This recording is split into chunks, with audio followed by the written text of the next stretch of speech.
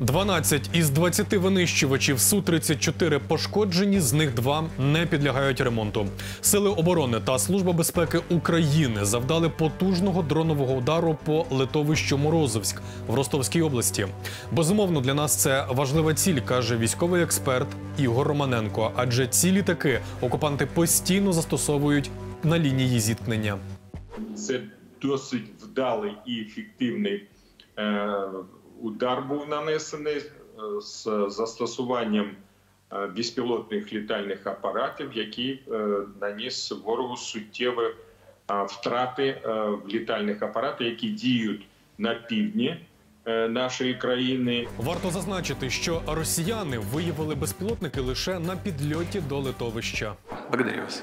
Тобто вони прилетіли непоміченими майже над всією Ростовською областю. Якщо вважати, що вони йшли з України, то протягом всього свого маршрута е, вони не були виявлені і атаковані відповідними засобами протиповітряної оборони збройних сил Російської Федерації. Це багато про що говорить само по собі.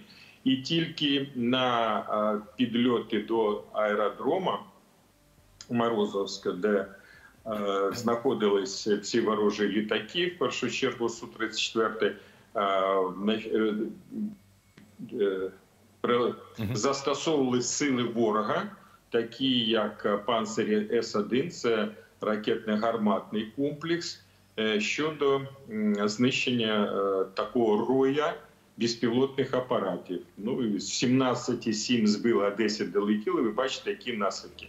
Таким чином, найближчі до території України російські литовища вразливі, каже військовий експерт Ігор Левченко. Звичайно, це спрямовано на зниження активності дій саме штурмової авіації противника, зменшення е, застосування в першу чергу цих плануючих бомб, які противник активно використовує. От. Ну і також це демонструє вразливість, е, скажімо так, е, аеродромів для противника, і це буде е, змушувати його, можливо, навіть перекидати авіаційні засоби на більш дальні аеродроми, що в свою чергу звужує, е, скажімо так, е, спектр застосування авіації.